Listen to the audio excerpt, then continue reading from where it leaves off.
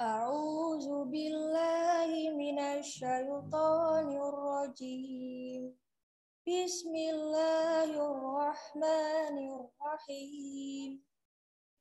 إنا أرسلناك بالحق بشيرا ونذيرا ولا تسألوا ونذيرا ولا تسأل عن أصحاب الجحيم.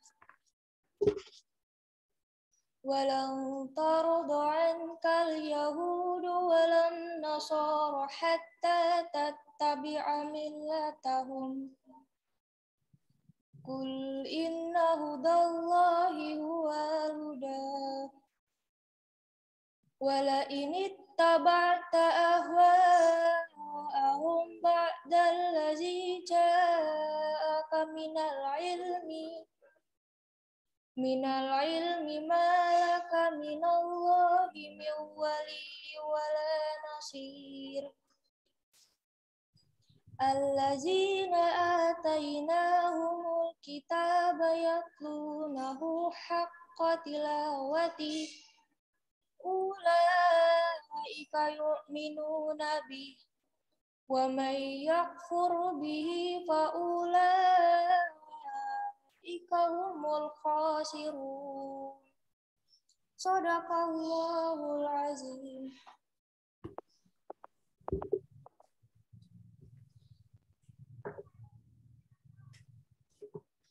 Terima kasih kepada Saudari Anissa Larasati yang telah membacakan kalam ilahi pada kesempatan pagi hari ini. Yang selanjutnya menyanyikan lagu Indonesia Raya, Sang Surya, dan Mars Muma. Untuk para hadirin dimohon untuk berdiri.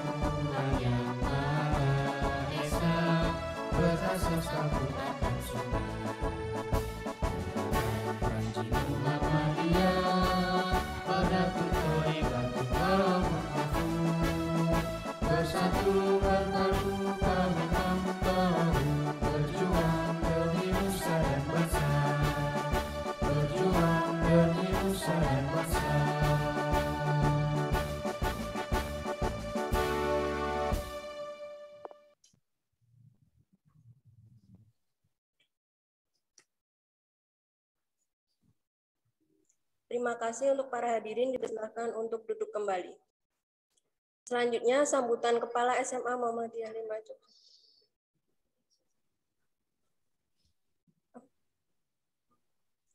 Terima kasih kepada para hadirin dipersilahkan untuk duduk kembali. Selanjutnya, sambutan Kepala SMA Muhammadiyah 5 Yogyakarta. Oleh Ibu Titin Yulianti Prawesti MPD, saya persilahkan.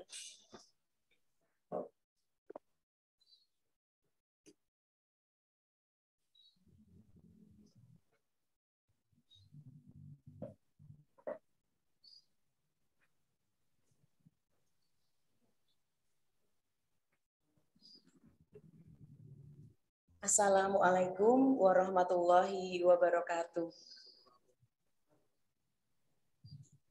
Alhamdulillahirabbil alamin asyhadu an la ilaha illallah wa la syarikalah wa asyhadu anna muhammadan abduhu wa rasuluh.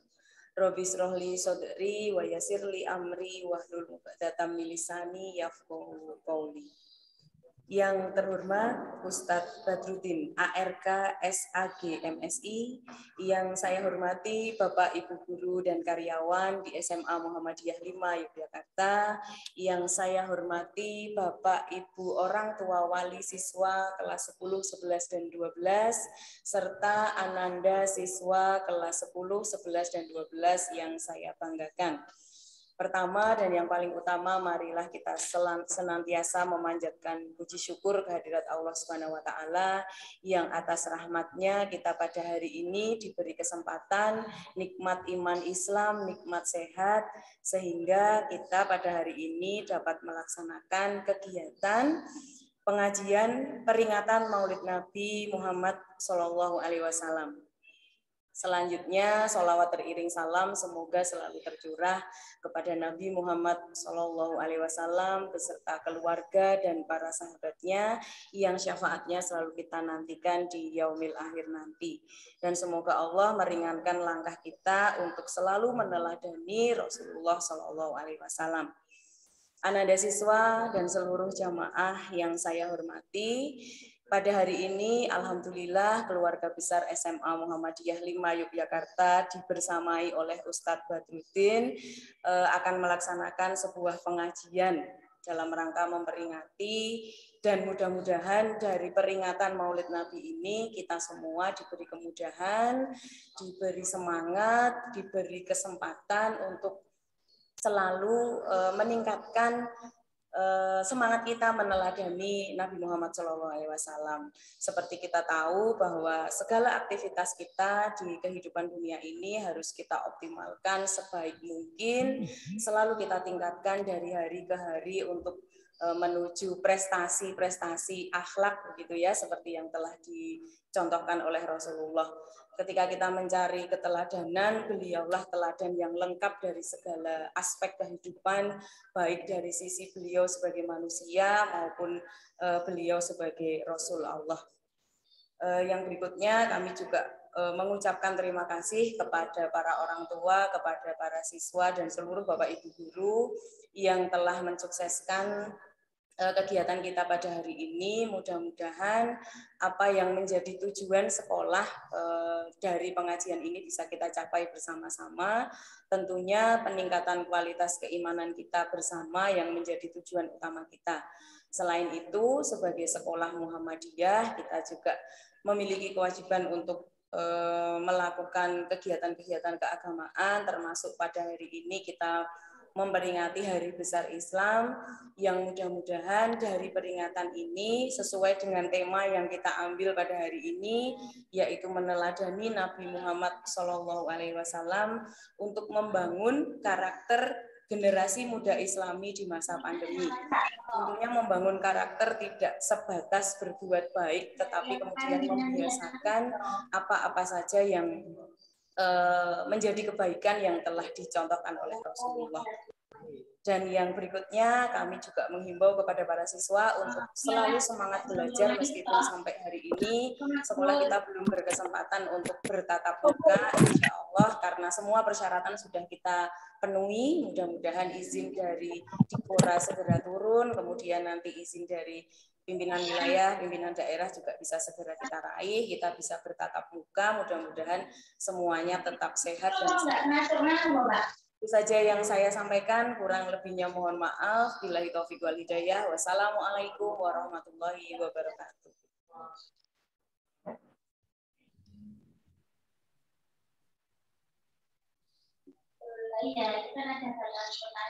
Terima kasih kepada Ibu Titin Yulianti Prawesti MPD atas sambutan yang diberikan pada kesempatan pagi hari ini. Selanjutnya memasuki acara inti yaitu pengajian dan doa yang akan disampaikan oleh Ustadz Badrudin ARK SAG MSI. Kepada para jamaah, apabila ada pertanyaan bisa menuliskan di kolom komentar. Kepada Ustadz Badrudin ARK SAG MSI, saya persilahkan.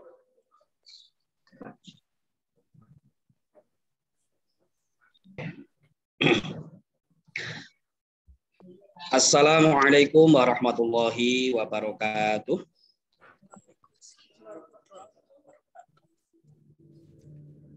Apakah suara saya cukup terdengar jelas, Ibu Titin dan juga para jamaah? Terdengar? Terdengar, Pak. Alhamdulillah, Alhamdulillahilladzi khalaqal mauta wal hayata liyabluwakum ayyukum ahsanu amala wa huwal azizul ghafur. Asyhadu an la ilaha illallah wahdahu la syarikalah wa asyhadu anna muhammadan abduhu wa rasuluh. Allahumma salli wa sallim ala nabiyyina Muhammad wa ala ali Muhammad. Amma ba'd. Ibu Titin Yulianti yang saya hormati selaku kepala sekolah SMA Muhammadiyah 5 Yogyakarta yang saya hormati Bapak Ibu guru karyawan, yang saya hormati Bapak Ibu orang tua atau wali siswa kelas 10, 11 dan 12 serta yang saya banggakan Ananda para siswa kelas 10, 11 dan 12 SMA Muhammadiyah 5 Yogyakarta. Yang pertama tentu kita harus bersyukur kepada Allah Subhanahu wa taala karena atas berkat rahmat Allah nyala pagi ini kita bisa mengadakan salah satu perintah Allah yaitu tolabul ilmi. Jadi tolabul ilmi adalah perintah yang sangat utama ya sebelum ada perintah lain Allah sudah perintah terlebih dahulu untuk belajar. Eh, selain di SMA Muhammadiyah 5, di sekolah-sekolah lain juga ada pengajian ya hari ini, baik itu di tingkat SMA maupun SMP. Karena memang sekolah Muhammadiyah itu eh, diidentikan dengan sekolah yang sering menggelar pengajian. Ada pengajian kelas, ada pengajian akbar, ada pengajian dalam rangka PHIB dan PHBI dan sebagainya. Yang kedua, Semoga solawat dan salam senantiasa dilimpahkan Allah kepada Nabiullah Rasulullah Muhammad Sallallahu Alaihi Wasallam, sahabatnya, keluarganya, dan umatnya termasuk kita nanti. Amin.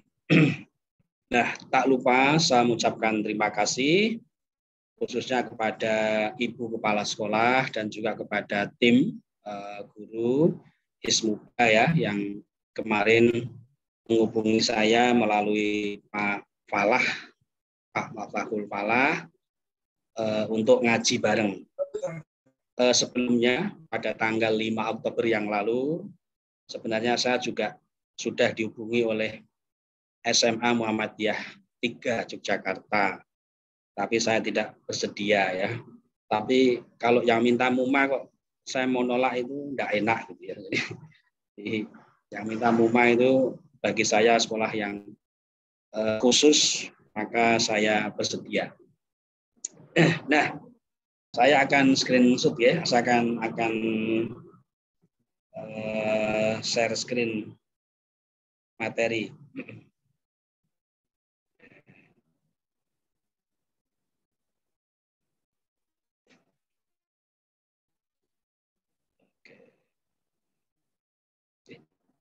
Apakah terlihat materinya, Bapak Ibu? Terlihat, Pak. Lihat, oke. Terlihat, ya? Jelas, ya?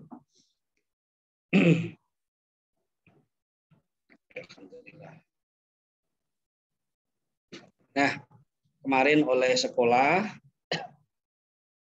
saya diberi tema ini meneladani Nabi Muhammad Shallallahu Alaihi Wasallam untuk membangun karakter generasi muda Islami. Tadi Bu Kepala Sekolah juga sudah menyinggung ada tambahan di masa pandemi gitu ya. Nah, di masa pandemi sengaja saya hilangkan karena biar ini lebih universal. Tidak hanya pas pandemi saja, tapi ini juga berlaku sampai kapan pun. Makanya pandeminya saya hilangkan.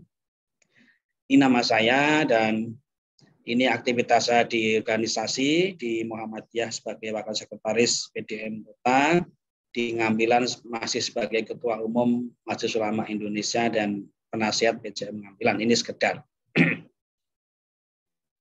ini eh, bagian Anda yang senang eh, Instagraman, ini kalau mau eh, follow nanti saya callback gitu ya.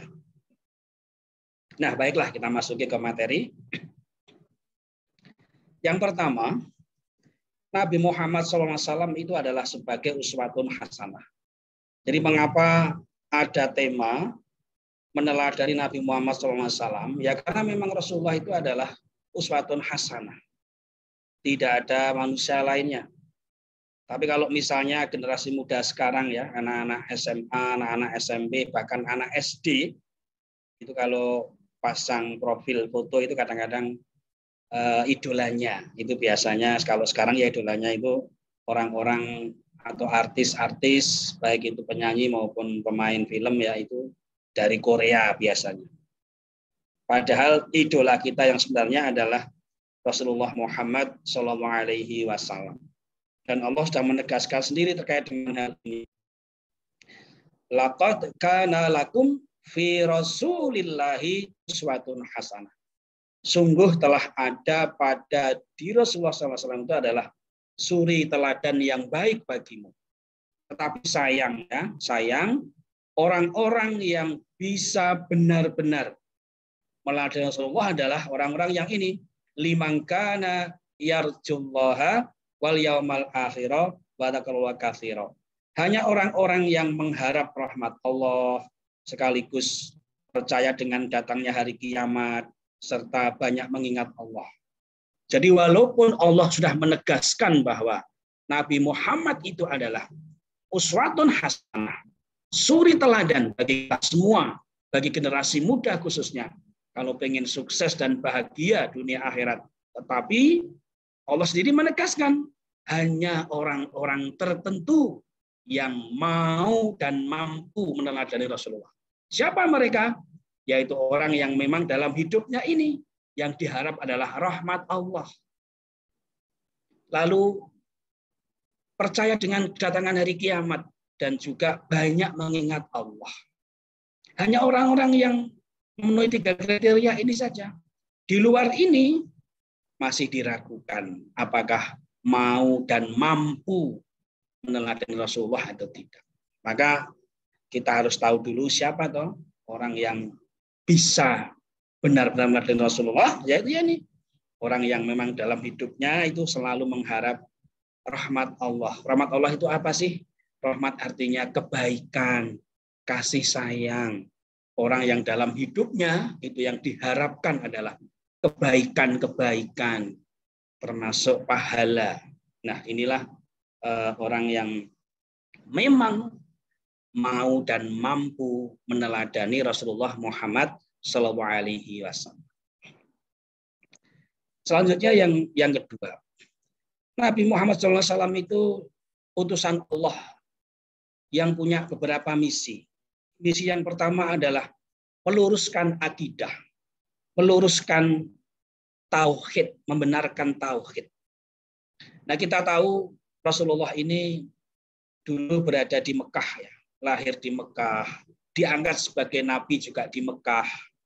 Kenapa di Mekah? Karena saat itu orang-orang Mekah itu akidahnya tidak benar. Akidahnya bengkok. Mereka kita tahu mereka menjadikan makhluk selain Allah sebagai Tuhan.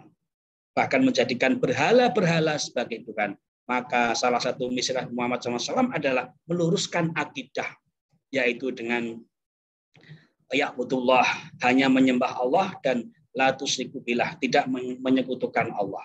Maka sebenarnya salah satu hak Allah, salah satu hak Allah yang harus kita tunaikan adalah e, mengesahkan Allah. Kemudian misi yang kedua adalah menyempurnakan syariat. Jadi yang namanya agama, agama sejak Nabi Adam alaihi salam sampai sekarang itu ya cuma satu. Inna dina indallahil Islam. Sesungguhnya agama yang diridhai Allah hanyalah Islam. Jadi kadang-kadang ada orang yang tanya begini, ada orang yang tanya begini, Pak, Tuhan kok menciptakan agama bermacam-macam? Ini pertanyaan yang keliru. Tuhan tidak menciptakan agama yang bermacam-macam. Tuhan hanya menciptakan sekaligus meridhoi satu agama saja yaitu agama Islam. Maka agama semua nabi sejak Nabi Adam sampai Nabi Muhammad SAW adalah Islam. Islam. Nah, cuma yang berbeda adalah aspek syariatnya. Zaman Nabi Adam itu belum ada sholat lima waktu. Kalaupun ada sholat ya hanya dua rakaat. Itu pun zaman Nabi Musa ya. Jadi belum ada puasa Ramadan, belum ada. Kemudian disempurnakan lagi pada eranya eh, Nabi Musa, kemudian Nabi Daud, kemudian Nabi Isa ya. Nabi Daud, Nabi Musa, Nabi Isa eh, sampai terakhir sempurna yaitu pada eranya Nabi yang terakhir yaitu Nabi Muhammad Shallallahu Alaihi Wasallam. Maka kalau Cak Nun MHN Najib itu sering membuat perumpamaan jadi agama ini seperti kelapa ya. Maaf, Quran ya. Quran itu seperti kelapa. Jadi kelapa eh, di masa Nabi Adam yang namanya kelapa itu ya seperti beluluk apa namanya? Yang kecil itu beluluk ya. Beluluk kecil. Kemudian ya, beluluk itu eh, masih belum sempurna, masih kecil. Kemudian berkembang menjadi cengkir. Cengkir itu agak besar dikit. Lalu jadi degan. Degan itu pada eranya Nabi Isa alaihissalam kemudian sempurna menjadi kelapa. Kelapa itulah Al-Qur'an itu, ya. Islam di era sekarang ini sudah sudah sempurna. Makanya tidak akan ada nabi lagi karena Nabi Muhammad adalah nabi yang terakhir dan sudah sempurna secara syariat. Nah, ini misi yang kedua. Misi yang ketiga adalah menyempurnakan akhlak. Nah, nanti yang kita akan banyak berkutat nomor tiga ini. Eh, misi Nabi yang ketiga, menyempurnakan akhlak. Hal ini juga Allah tegaskan dalam sebuah hadis ya eh, di riwayat Al Baihaqi, "Innama bu'ithu liutammima makarimal akhlaki." Sesungguhnya aku diutus oleh Allah ke muka bumi ini adalah untuk menyempurnakan akhlak manusia. Makanya Rasulullah membawa misi menyempurnakan akhlak manusia. Ini adalah misi yang ketiga yang nanti kita akan banyak berkutat di sini. Karena tema yang diberikan adalah terkait dengan membangun eh, karakter eh, generasi muda Islami. Nah, terkait dengan meluruskan akidah, ini adalah menjadi pondasi. Eh, syariat nggak bisa ditinggalkan. Lalu akhlak ini adalah ibaratnya adalah hiasan-hiasan. Maka kalau generasi muda Islami itu benar-benar pengen menjadi generasi yang unggul robani kuncinya adalah tiga ini. Secara akidah kuat kemudian syariatnya juga dikerjakan sebaik-baiknya. Nanti eh, akan eh, muaranya adalah memiliki akhlakul karim. Nah ini harapannya seperti itu nah kemudian ke poin C Generasi muda Islami merupakan aset agama, aset bangsa, bahkan aset negara. Ini adalah sesuatu yang tidak bisa dipungkiri karena hidup ini kan berjalan, waktu ini berjalan, eh, hidup ini bergantian. Dulu ada tokoh ya, ada tokoh dulu Pak eranya Pak Karno, ada Pak Yaji Ahmad Dahlan, lalu ada Pak Harto, kemudian Pak Habibie, kemudian diteruskan uh, Gus uh, Megawati, Gus Dur sampai sekarang ini. Dan nanti ke depan generasi muda ini akan menjadi penerus bangsa. Generasi muda merupakan aset agama, aset bangsa dan aset negara yang sangat berharga. Generasi muda adalah penerus pemimpin bangsa. Maka ada ungkapan dalam bahasa Arab, saat ini sebagai pemuda, tapi besok akan menjadi pemimpin. Subhanul yaum rijalul ghad. Jadi sekarang ini sebagai pemuda, tapi besok akan menjadi pemimpin. Makanya dulu Pak Karno itu begitu membanggakan generasi muda. Makanya beliau kan pernah menyampaikan satu ungkapan ya, beri aku 10 pemuda maka aku akan mengubah dunia. Kenapa pemuda begitu dibanggakan? Karena pemuda ini uh, sangat visioner ya, selain dari aspek otak itu pikirannya visioner, kemudian revolusioner ya, pengen pengen melakukan perubahan-perubahan yang sangat mendasar. Itulah pemuda. Jiwanya masih menggelora, melakukan perubahan, idealis ya, masih idealis. Kalau pemuda itu idealis, masih sekolah SMA, mahasiswa itu masih idealis. Maka menjadi aset yang luar biasa. Nah, generasi muda harus memiliki karakter mulia agar menjadi pemimpin yang sukses dan bahagia misalnya generasi mudanya eh, tidak memiliki karakter yang mulia, bangsanya akan menjadi apa besok? Karena tidak mungkin pemimpin itu tidak tergantikan. Pada saatnya pasti akan pasti akan diganti. Makanya di sinilah eh, pentingnya eh, kita semua, khususnya Bapak Ibu guru, orang tua itu memikirkan bagaimana eh, karakter generasi muda ke depan. Sehingga kalau besok mereka mendapat amanah menjadi pemimpin, tidak akan perlu dikhawatirkan lagi karena memiliki karakter yang yang baik. Dan pengajian ini e, diarahkan ke sana karena memang sangat penting sekali masalah karakter ini. Nah, kita lanjutkan. Poin D. Membangun karakter generasi muda Islam kalau tadi di awal sudah ada judul ya, meneladani Rasulullah untuk membangun karakter generasi muda Islam. Bagaimana cara kita membangun karakter generasi muda Islami di masa pandemi ini? Bagaimana caranya? Segala sesuatu itu sudah ada tuntunannya. E, makanya Islam ini adalah agama yang yang universal ya, yang universal mengatur seluruh aspek kehidupan, tidak hanya masalah akidah, masalah syariat, masalah akhlak, juga mengatur masalah ekonomi, pendidikan, bahkan teknologi. Islam pun bicara teknologi. Kalau kita baca di surat Ar-Rahman itu kan eh, ayat 33 itu kan Allah bicara tentang alam semesta. Sebuah tantangan kepada manusia. Kalau mampu menembus langit dan bumi, silahkan. Eh, Fudu, tembuslah. Tapi tidak akan bisa menembus illa bisultan kecuali dengan ilmu dengan kekuatan. Caranya adalah meneladani sifat dan akhlak Nabi Muhammad Shallallahu Alaihi Wasallam. Jadi cara membangun karakter generasi muda Islami termasuk di masa pandemi ini ya cuma satu ini meneladani sifat dan akhlak Nabi Muhammad Shallallahu Alaihi Wasallam. Tidak ada lain.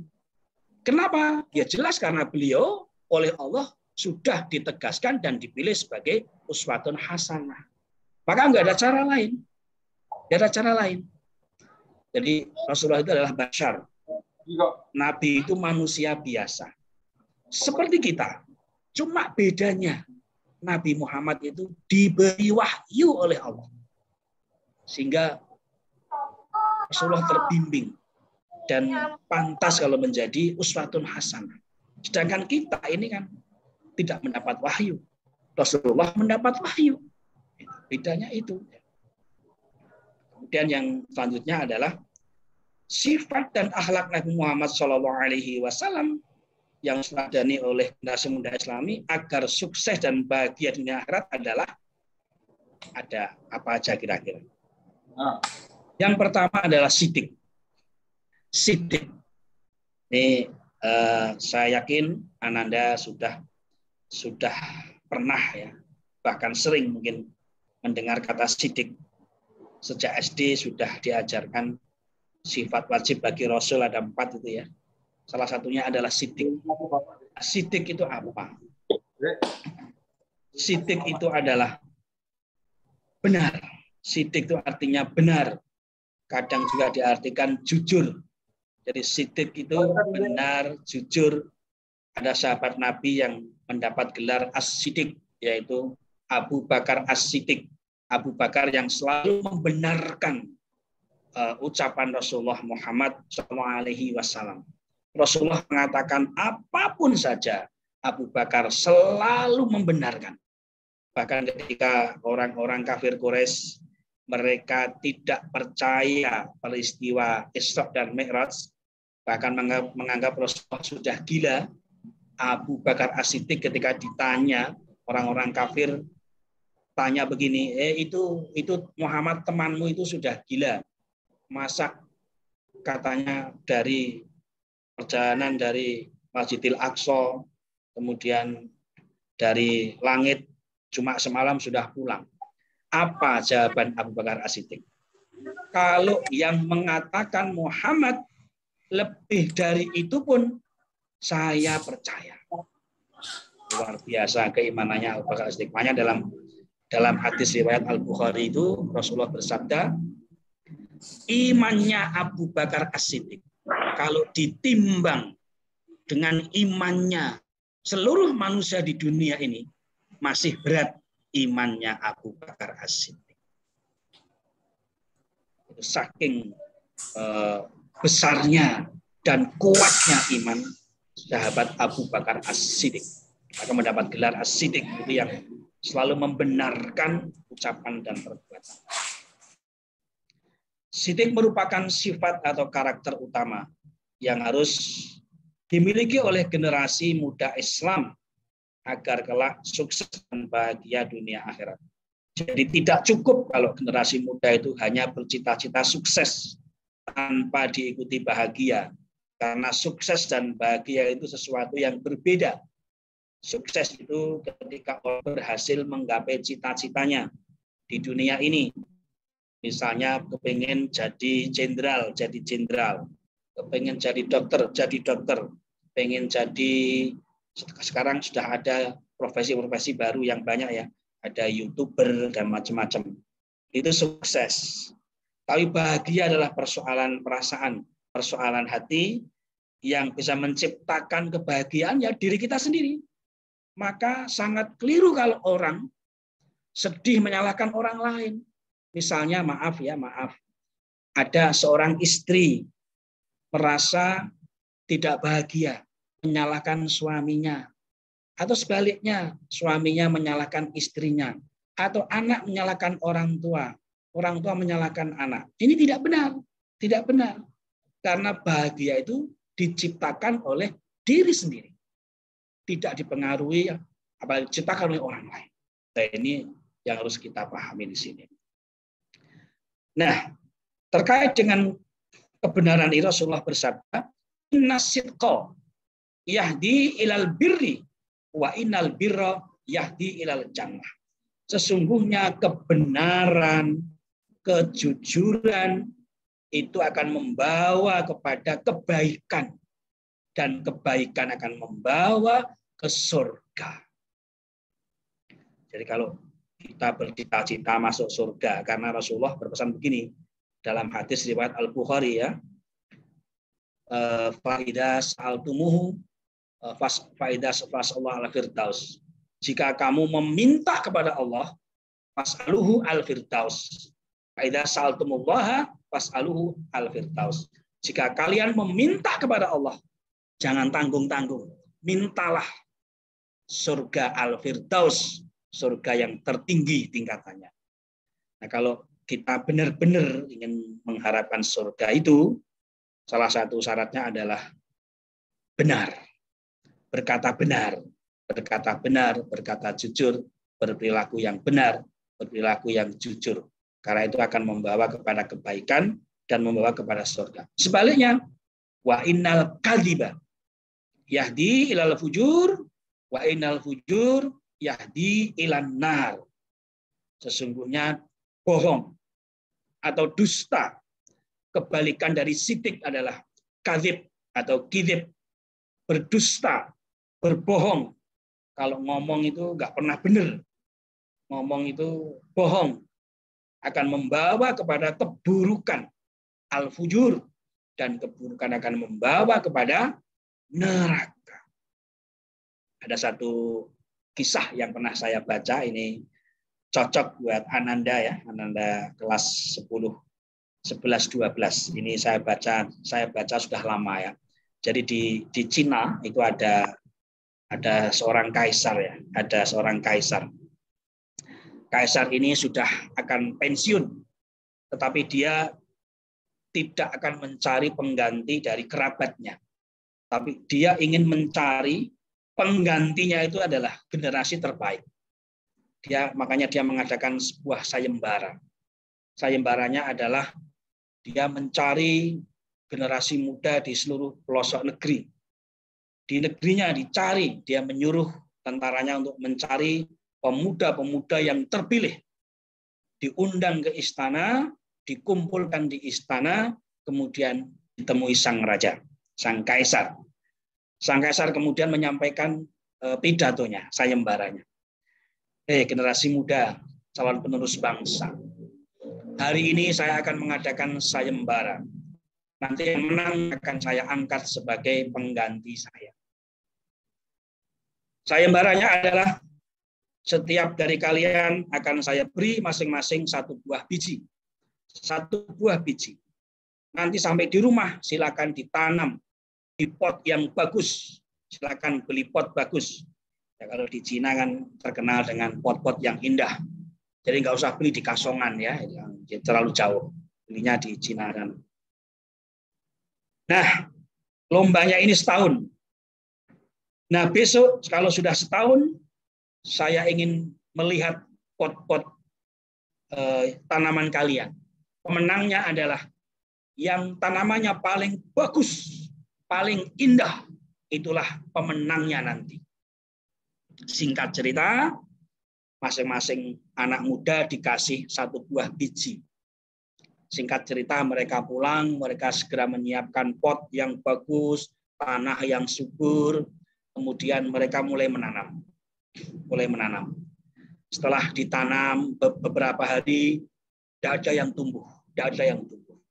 Pada akhirnya mulai tumbuh, tumbuh, tumbuh, tumbuh, tumbuh. Singkat cerita, waktu sudah habis, semuanya kembali ke istana ya satu tahun kemudian. Tapi aneh, ada satu anak namanya Aling, itu bijinya tidak tumbuh sama sekali. Lalu dia tidak mau berangkat ke istana. Oleh ibunya dinasehati. Nah, silahkan berangkat.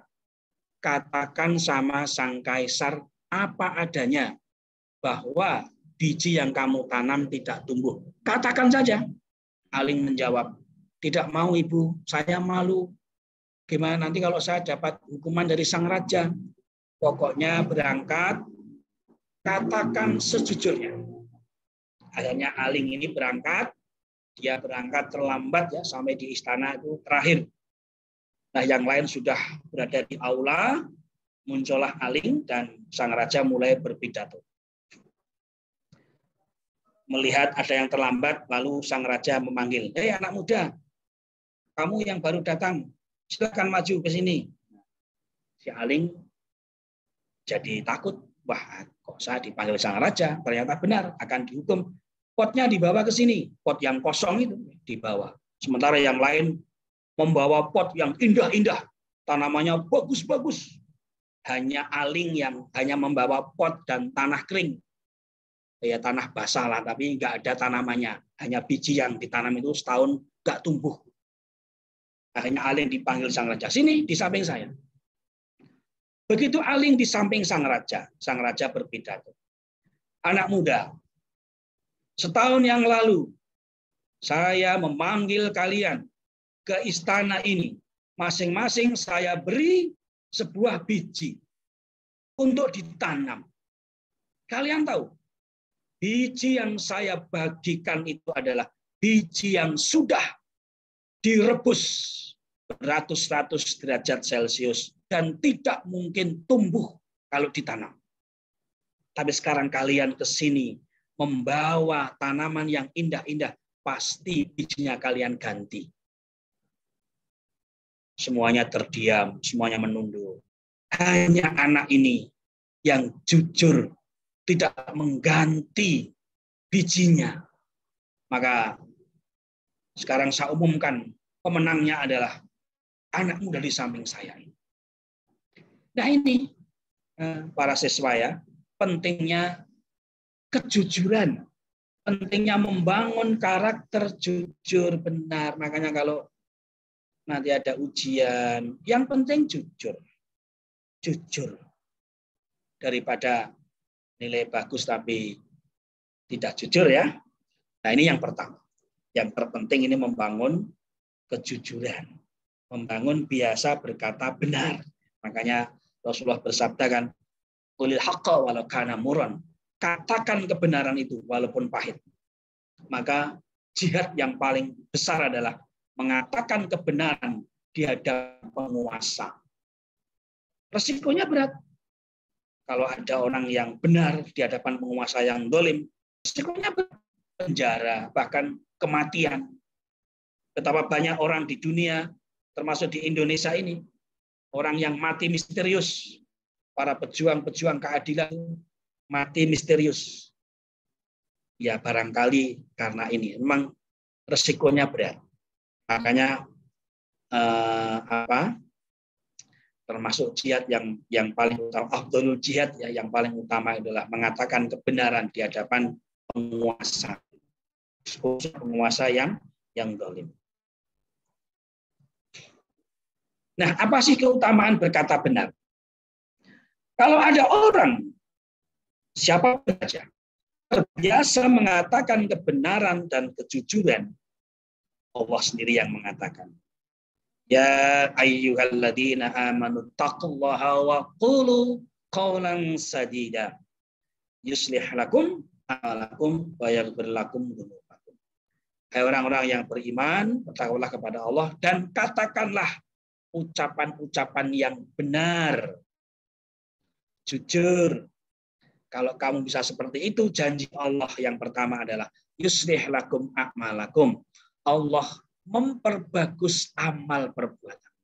Jadi kalau orang terbiasa ngomong benar, lama-lama karakternya baik dengan sendirinya. Kok bisa baik? Allah yang menjadikan baik. Yuslih lakum. Ini adalah janji Allah pasti ya. Allah nggak pernah ingkar janji. Allah pasti memperbagus amal perbuatan kalian. Kuncinya adalah berkata benar, bersikap benar, jujur. Yang kedua, Allah mengampuni dosa-dosa. Tanpa kita ampun, karena kita berkata benar, berkata jujur, dengan sendirinya Allah akan mengampuni. Ini luar biasa ya, keutamaan memiliki karakter uh, sidik ini, luar biasa. Yang kedua, amanah. Kalau titik tadi benar, berkata benar, termasuk berkata jujur. Amanah adalah dapat dipercaya. Termasuk amanah juga diartikan menunaikan tugas dan kewajiban dengan sebaik-baiknya. Itu amanah. Maka generasi muda atau pelajar yang amanah adalah generasi muda yang menunaikan tugas dan kewajibannya dengan baik. Apakah generasi muda yang sekolah itu membawa amanah? Iya. Amanah dari siapa? Pertama, belajar itu perintah Allah. Iqra bismi rabbikal ladzi khalaq. Sari'u fi talabil ilmi. Segeralah mencari ilmu. Allah perintah, Rasulullah perintah amanah dari Allah, dari Rasulullah, amanah dari orang tua. Maka seorang pelajar yang amanah, pelajar yang sungguh-sungguh dalam belajar. Karena tugas utama seorang pelajar adalah belajar. Tugas dan kewajiban utama generasi muda atau pelajar adalah belajar, belajar, belajar. Jadi kalau ingin menjadi generasi muda yang amanah ya waktunya dihabiskan untuk belajar. Tapi kita sebagai orang Indonesia ya, eh, beberapa waktu yang lalu saya membaca hasil survei. Hasil survei eh, yang disurvei adalah eh, apa? minat baca. Minat baca orang di dunia. Yang disurvei sekitar 61 negara. Bagaimana hasilnya? Indonesia. Indonesia ini menempati ranking kedua dari bawah dari aspek minat baca. Artinya apa? Minat baca buku, minat baca buku loh ya. Minat baca buku orang Indonesia itu sangat rendah. Bisa jadi begini, di Jogja sudah tinggi, di Jawa sudah tinggi, tapi di tempat lain itu masih rendah. Sehingga kalau digabung Indonesia menjadi rendah. Jadi minat baca buku loh ya baca. Lah generasi muda sekarang ini eh, penyakitnya ini. Kalau sudah pegang Android, aduh, sudah pegang Android, sudah di kamar, kamarnya di kancing, suruh belajar ini, aduh, sudah belajar dulu. Dikasih uang orang tua itu enggak ada yang untuk beli buku. Hampir enggak, habis enggak tahu beli. Kalaupun ada ya jarang. Eh, anak dikasih uang orang tua jadi buku itu ya ada sih tapi belum banyak. Nah ini ini PR kita bersama, khususnya PR generasi muda. Jadi kalau generasi muda itu ya memang tugas dan kewajibannya cuma satu. Belajar, belajar, belajar. Karena memang memang sekarang ini belajar. Tapi saya pengen anu, Pak, pengen berlatih bisnis. Ya monggo, monggo. Saya ingin berlatih ternak, memelihara burung, ikan, silahkan. Tapi yang utama adalah belajar. Belajar. Orang-orang hebat, Rasulullah, para sahabat, mereka-mereka ini juga belajar. Termasuk tokoh-tokoh dunia, tokoh-tokoh Indonesia. Mereka belajar bagaimana Pak Kiai Ahmad Dahlan. Mereka belajar sampai di Mekah, Saudi Arabia zaman dulu naik kapal. Sampai belajar di sana. Kiai Haji Azhar Basir, tokoh Muhammadiyah, pernah jadi ketua PP Muhammadiyah, lahir di Kauman, tinggalnya di Ngadiwinatan, sekampung sama saya. Pak Ahmad Azhar Basir, tokoh dunia. Belajarnya sampai di Timur Tengah. Gus Dur adik kelasnya. Jadi Pak Azhar Basir itu kakak kelasnya Gus Dur waktu di Timur Tengah. Makanya Gus Dur hormat sama Pak Azhar Basir. Kalau saya ke rumahnya Pak Azhar Basir, bukunya luar biasa. Buku-bukunya, tafsirnya luar biasa uh, saya pernah baca-baca beberapa bukunya. Luar biasa. Belajar. Tidak ada rumusnya orang yang sukses tanpa belajar. Enggak ada. Jadi generasi muda, siswa di SMA Muhammadiyah 5, harapan saya, harapan Bapak Ibu guru, orang tua semua, saya yakin itu kuncinya ada di sini nih, belajar. Belajar itu amanah, amanah dari Allah, Rasulullah, orang tua, sekolah. Yang ketiga, tabligh. Tabligh artinya menyampaikan kebenaran. Mengajak kepada yang hak dan mencegah dari yang mungkar. Tabligh. Berani berdakwah. Berani mengingatkan kalau ada yang salah. Khususnya kepada keluarga saya sebagai bapak, sebagai orang tua, di rumah ada istri, ada anak, minimal saya sudah mengingatkan. Contohnya ya, sudah adan, sudah adan contohnya. Kebiasaan saya di rumah kalau sudah adan, saya keliling kamar-kamar, kamar istri saya, kamar anak-anak. Saya kelilingi. Kalau masih pegang HP, saya ingatkan, adan, HP matikan. Lalu yang laki-laki saya ajak ke masjid. Perkara tidak mau, yaitu bukan urusan saya. Saya sudah mengajak, misalnya begitu ya. Bapak Ibu guru sudah mengajak murid-muridnya, orang tua sudah mengajak. Karena yang memberi hidayah bukan kita. Allah yang kasih hidayah. Cuma bisa mengajak, mendoakan. Sudah lepas dari hukuman.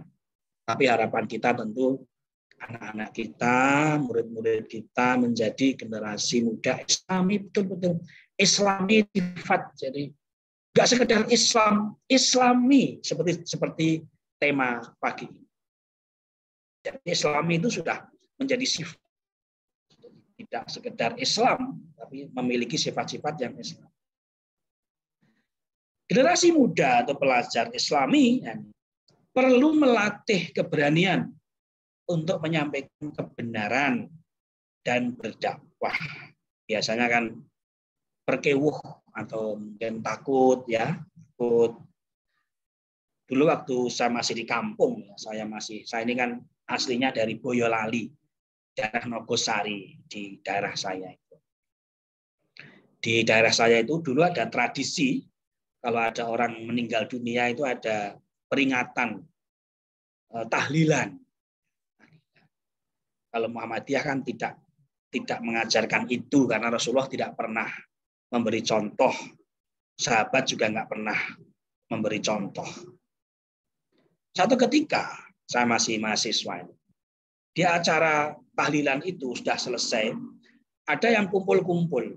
Ada kumpul-kumpul, ternyata main kartu remi, main kartu. Orang-orang tua itu main kartu. Kemudian saya dekati, saya masih mahasiswa, mahasiswa di. Saya dekati, saya amati, ini kok ada yang aneh, Ternyata pakai uang, judi. Kemudian saya bilang, ya bismillah walaupun saya anak kecil ya. Ini kok pakai uang Pak, berjudi Pak, berjudi Pak. Akhirnya Alhamdulillah bubar. Mereka terus pada pulang. Kalau sekedar main kartu, monggo. Tapi kalau sudah pakai uang, itu namanya perjudian. Dan perjudian jelas-jelas diharamkan oleh Allah innamal khamru wal maisir diharamkan Allah berjudi. Nah, generasi muda Islami perlu punya keberanian ini. Perlu punya keberanian ini. Kalau generasi mudanya nggak, nggak punya keberanian, siapa yang harus diharapkan punya keberanian? Dengan sering melatih diri selanjutnya akan terbiasa dan akhirnya menjadi karakter, menjadi.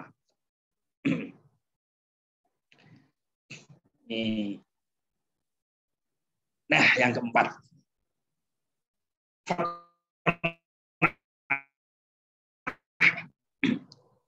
Fatonah. Ini, ini sangat terkenal ya. Dulu di Indonesia ada orang yang namanya Ahmad Fatonah, tapi mungkin saking cerdasnya jadi malah ditangkap KPK. Jadi terkenal Fatonah ini. Apa itu Fatonah? Fatonah artinya cerdas. Cerdas. Generasi muda harus punya kecerdasan. Nah ini persoalan. Apakah kecerdasan itu pemberian Allah atau bisa diupayakan? Kecerdasan itu bisa diupayakan walaupun memang semuanya pemberian Allah. Ketentuan Allah, tetapi orang bisa berusaha agar menjadi orang yang cerdas.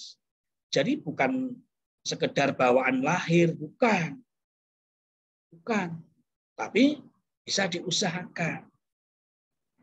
Nah, kita mengenal ada empat macam kecerdasan ya. Jadi yang pertama adalah kecerdasan intelektual, IQ, eh, terkait dengan masalah otak ini, kecerdasan intelektual. Lalu yang kedua, kecerdasan emosional, EQ, emotional question. Yang ketiga, kecerdasan spiritual. Ada lagi pendapat ini yang keempat ini ya. Kalau dulu kan tiga ini ya, intelektual, IQ, EQ, dan SQ. Sekarang ditambah lagi yang keempat. Kecerdasan transendental, TQ. Ini empat kecerdasan Sekali lagi ini bisa diupayakan agar kita generasi muda Islam ini, ananda-ananda ini punya empat kecerdasan ini. Semua bisa diupayakan. Bisa diupayakan. Oke. Apa itu IQ, EQ, SQ, dan TQ? IQ, kecerdasan intelektual terkait dengan kemampuan mengingat ya mengingat memahami sesuatu menganalisis berpikir rasional memecahkan masalah. Jadi kalau diajar itu kan kemampuannya beda-beda.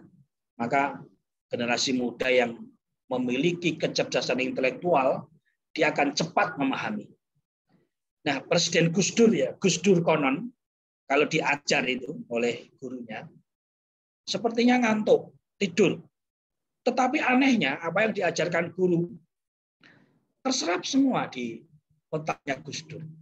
Ya saking cerdasnya. Dari mana kecerdasan Gus Dur? Ya dari dia hobinya baca kecil. Dia dia hobi beliau sudah senang baca buku sejak kecil. Makanya berarti diupayakan. Ini kecerdasan emosional. Misalnya mengontrol perasaan, tidak gampang emosi, berempati kepada orang lain, kepada sesama, kepada binatang. Melihat ada pengemis nangis, nah itu terlalu berempati. Lihat pengemis kasihan itu ya. Ada anak lihat pengemis itu kasihan anak kecil. Anak SD lihat pengemis yang kelihatannya kok menderita gitu malah dia nangis ya e, emos apa EQ-nya tinggi. Beradaptasi dengan lingkungan. Ada orang kadang kecerdasan intelektualnya bagus. Di sekolah pinter. Tapi di masyarakat EQ-nya terendah. Karena dia sulit beradaptasi.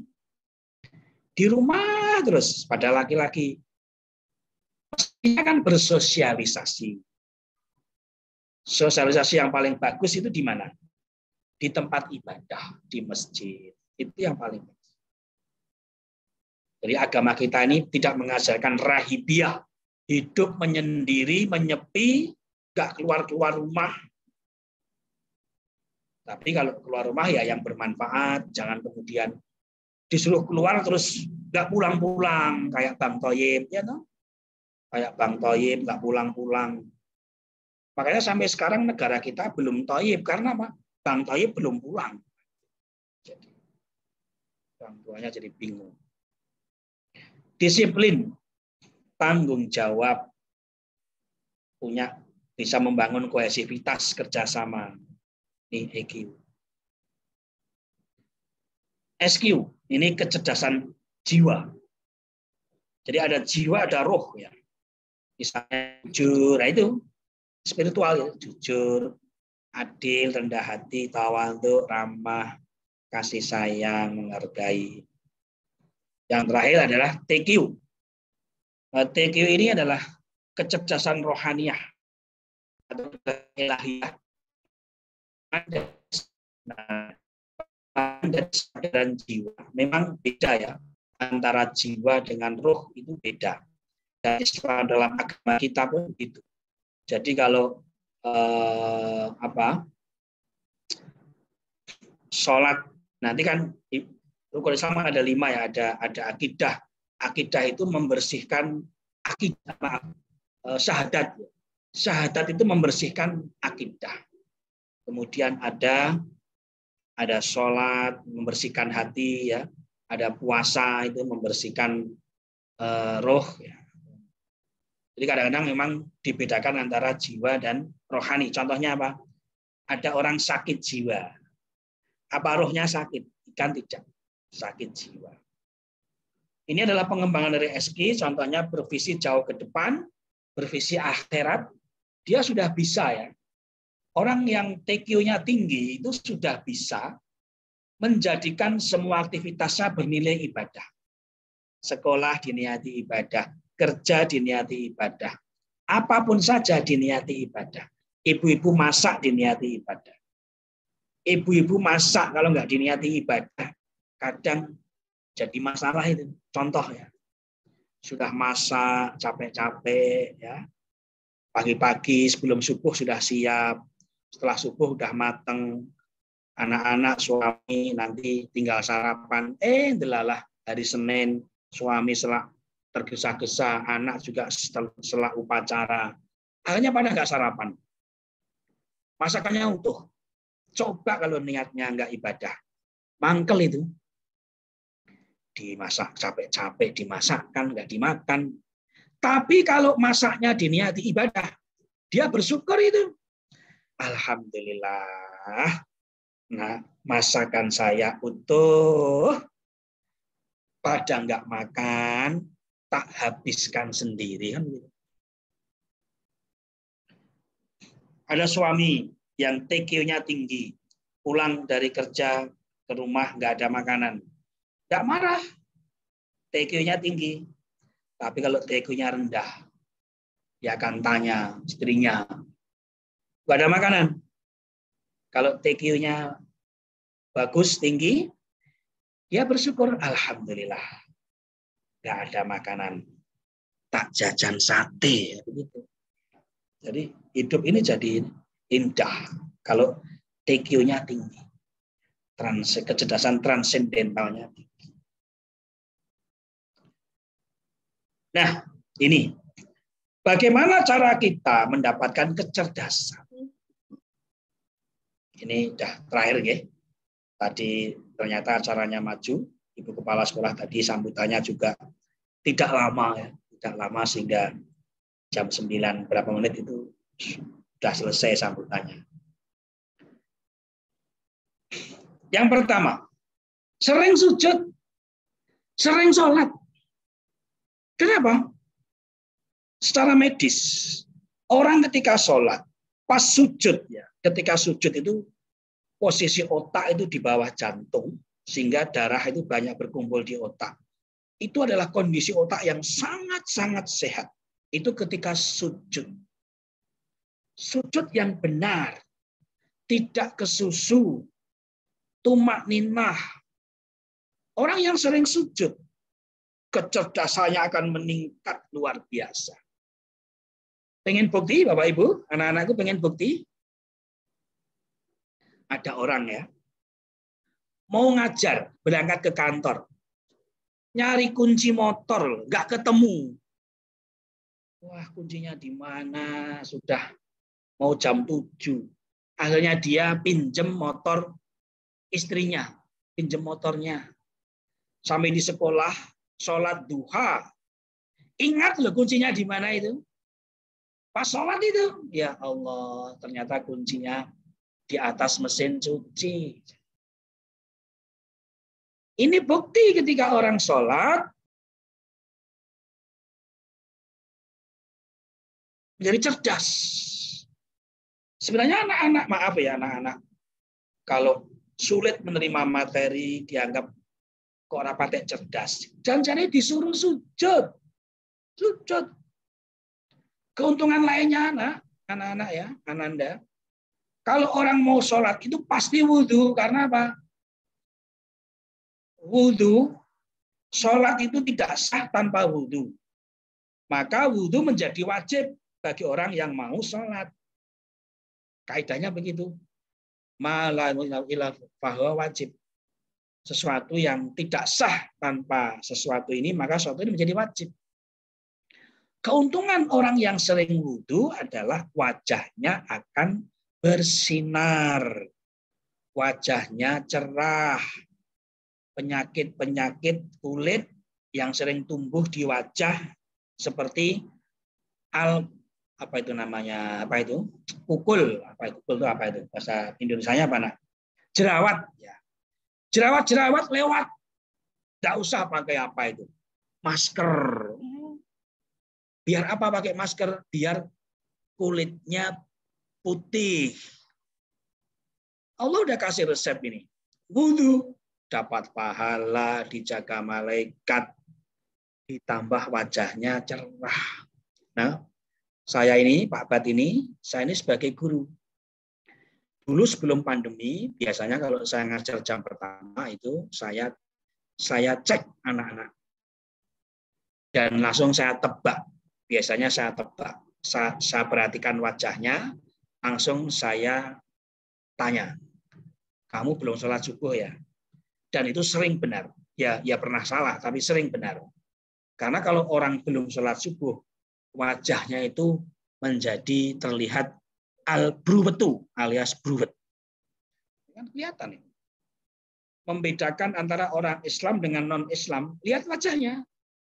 Ada artis misalnya ya, namanya inisialnya adalah AM. Dengan artis yang muslimah, seperti eh, siapa itu, kakaknya Ria Reces itu, Oki Istiana Dewi. Beda sekali wajahnya. Wajah yang sering wudhu dan nggak pernah wudhu. Beda sekali. Nah, maka kalau pengen cerdas, sering-sering sujud. Sering-sering sholat sunnah. Perbanyak sholat sunnah. Akhirus sujud. Ini hanya kalau nanti, tapi kalau misalnya anak-anak sholat ya niatnya jangan biar cerdas, jangan niatnya nyembah Allah, perintah Allah. Dan ada seorang ulama yang paling terkenal di Indonesia sekarang di YouTube ya, namanya Gus Baha. Beliau pernah mengatakan kenangan terindah kita di dunia ini adalah ketika kita sujud.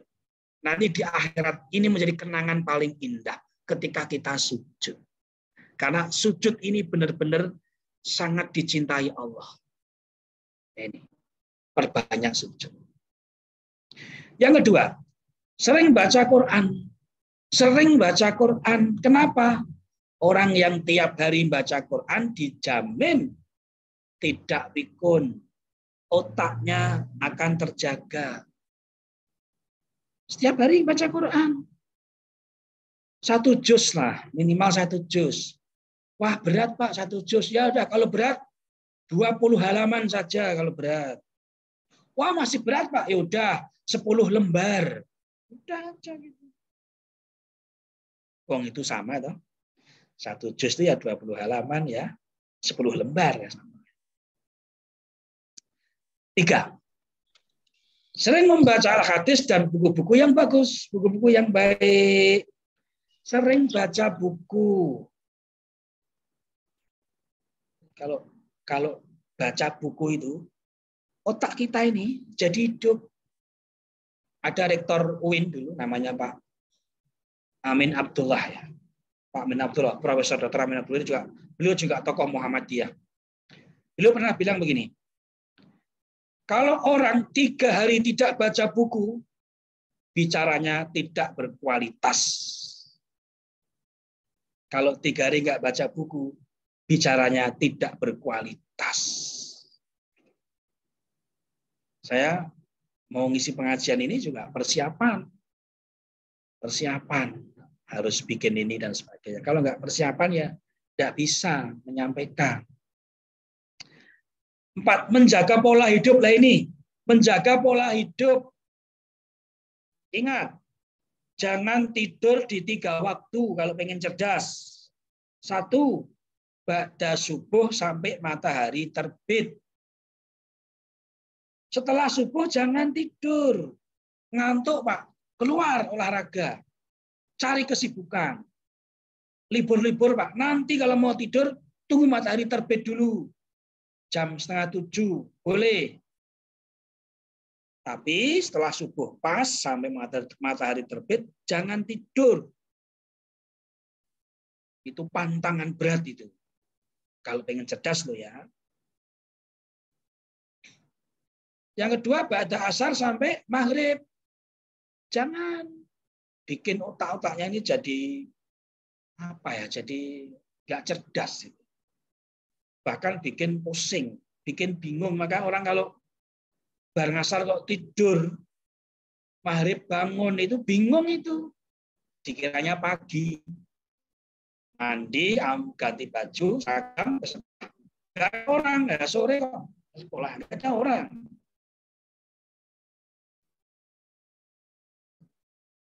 Kemudian ini Ba'da maghrib sampai isya.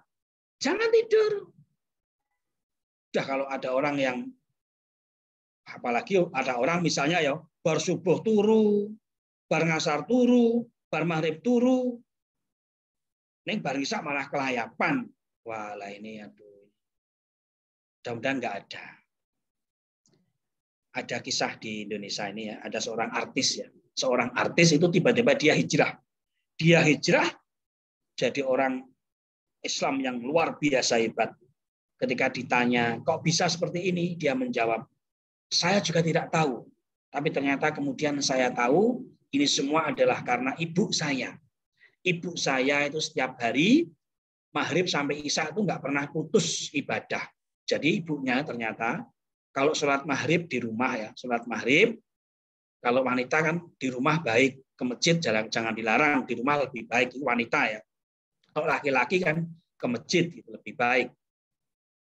Di rumah dia sholat sholat maghrib nyambung sampai isya. Dipakai apa? Ngaji, dikir, doa. Ternyata dia doa doakan anaknya. Akhirnya anaknya dapat hidayah eh, pensiun dari artis, artis hijrah. Sekarang jadi eh, dai. Terakhir, terbiasa berpikir positif syukur, sabar itu alhamdulillah saya sekolah di SMA Muhammadiyah 5. Bersyukur sekolah Muhammadiyah. Guru karyawannya juga berjiwa Muhammadiyah. Bersyukur. Ya. Terakhir Bapak Ibu, anakku semua karena waktunya kesimpulannya ya. Kesimpulannya nanti kalau ada yang bertanya ya. Kesimpulannya satu hanya dengan meneladani sifat-sifat Nabi Muhammad Shallallahu Alaihi Wasallam maka akan terbangun karakter generasi muda Islam. Yang kedua, empat sifat yang harus diteladani dan dilatih serta dibiasakan oleh generasi muda adalah sidik benar, berkata benar, berkata jujur, amanah, melakukan kewajiban dan tugas sebaik-baiknya, tablik mau menyampaikan kebenaran, mau berdakwah. Eh di kampungku kok nggak ada yang ngajar TPA, saya tak ikut ngajar TPA. Dulu Pak Bat kelas 1 SMP sudah ngajar TPA, ngajar anak-anak SD di kampung. Fatonah cerdas. Maka dengan empat sifat ini, insya Allah generasi muda kita akan sukses dan bahagia dunia akhirat. Demikian, sekian, terima kasih. Semoga Allah senantiasa membimbing kita menjadi orang yang sukses dan bahagia dunia akhirat. Amin. Ada kurang salah, saya mohon maaf. Saya kembalikan kepada pembawa acara. Eh, nanti kalau ada yang tanya, ya, kalau nggak ada, nanti kita langsung berdoa. Assalamualaikum warahmatullahi wabarakatuh. Waalaikumsalam warahmatullahi wabarakatuh. Waalaikumsalam. Terima kasih kepada Ustadz Ustadz Badrudin ARK SAGMSI atas tausiahnya yang diberikan pada kesempatan pagi ini. Insya Allah bermanfaat bagi kita semua. Selanjutnya sudah ada pertanyaan di kolom komentar. Yang pertama dari Ibu Naning. Assalamualaikum Ustadz, mau tanya bagaimana cara memberitahu anak yang sedang mencari jati diri seperti kita orang tua sudah memberikan pengertian tentang empati pekerjaan di rumah, tetapi kadang teman itu mempengaruhinya. Kita takutnya orang tua anak bisa terpengaruh karena merasa tidak enak dengan teman. Silahkan Ustadz bisa ditanggapi mengenai pertanyaan tersebut. Oke, Bu. Jadi eh, ada teori begini, Bu. Ada teori begini. Sebenarnya ya, teorinya ya. Anak itu bisa dinasehati dengan mudah itu kalau usianya masih di bawah 12 tahun. 0 sampai 12 tahun itu masih bisa dikendalikan. Masih bisa diarahkan. Tapi kalau ananda-ananda kita ini yang sudah SMA, bahkan 17 tahun, itu ya ibarat pohon sudah besar. Maka caranya cuma satu. Cuma satu. Apa itu? Berdoa. Berdoa, berdoa, berdoa kepada Allah. Tapi harus tepat. Kapan berdoanya? Sepertiga malam akhir. Kapan itu? Ya sekitar jam setengah dua sampai sebelum subuh. Setengah dua, jam dua.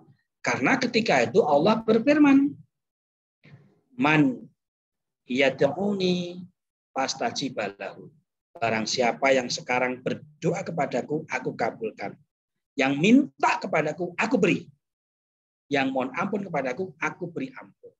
Maka kalau eh, jawaban saya adalah ya jalan yang terakhir tadi kita bisanya cuma berdoa dan Rasulullah mengatakan la yarudul qadra ila doa yang bisa mengubah takdir adalah doa seperti saya contohkan tadi ada seorang ibu setiap hari maghrib sampai isya beribadah berdoa eh anaknya berubah dari artis menjadi hijrah dia Begitu yang dapat saya jawab.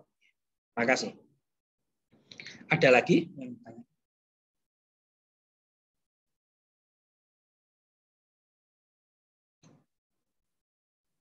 Apa ada lagi, Mbak? Ya, terima kasih Ustadz atas tanggapannya mengenai pertanyaan tersebut. Selanjutnya ada pertanyaan kedua dari Ibu Emi Susanti. Assalamualaikum warahmatullahi wabarakatuh. Mohon izin bertanya, bagaimana memotivasi dan menumbuhkan kesadaran putra dan putri kita untuk meneladani Rasulullah Shallallahu Alaihi Wasallam dan menerapkan keteladanan tersebut dalam kehidupan sehari-hari. Melihat budaya saat ini sangat berbeda sekali karena banyak pengaruh dari faktor teknologi, pergaulan, dan mungkin faktor lainnya. Harapan generasi muda Islami akan terwujud dengan dukungan keluarga, sekolah, dan kesadaran pribadi putra-putri kita. Terima kasih. Oh, silakan Ustadz bisa dijawab mengenai pertanyaan tersebut. Ya, terima kasih, Nge. Ini pertanyaan yang yang sulit dijawab, yang sulit dijawab, ya.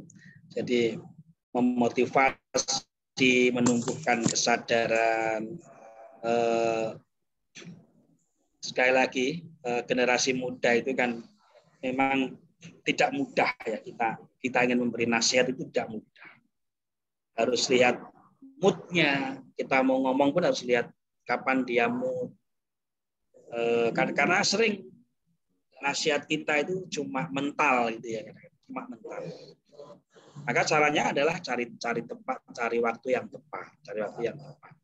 Kadang orang tua sudah menasihati baik-baik, sudah memotivasi, sudah memberi contoh bahkan ya. Ketika orang tua menyuruh anaknya belajar orang tuanya juga belajar baca buku. Orang tuanya sudah kasih contoh.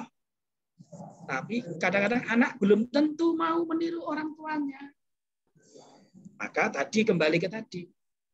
Yang penting ikhtiar sudah kita lakukan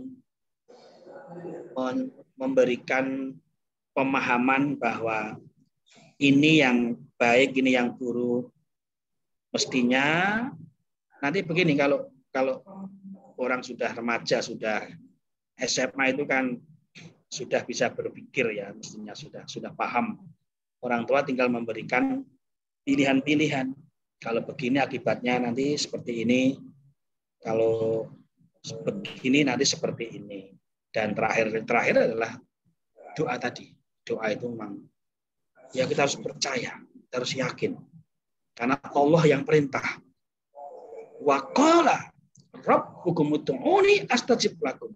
Tuhanmu mengatakan, Tuhanmu memerintahkan, berdoalah kepadaku, niscaya aku kabulkan. Bahkan kalau kita nggak mau berdoa, kita dianggap sombong. Dianggap sombong.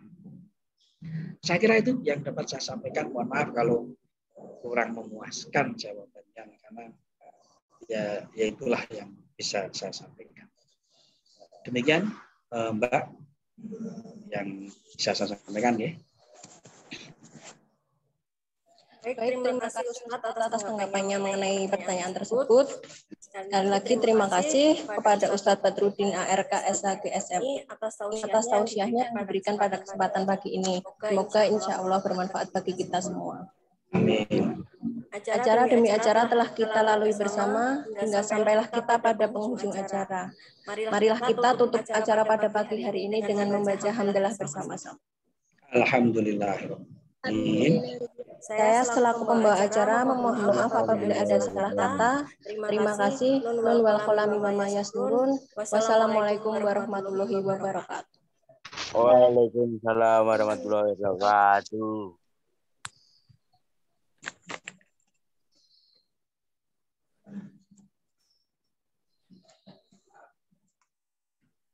Terima kasih banyak Pak Badrudin.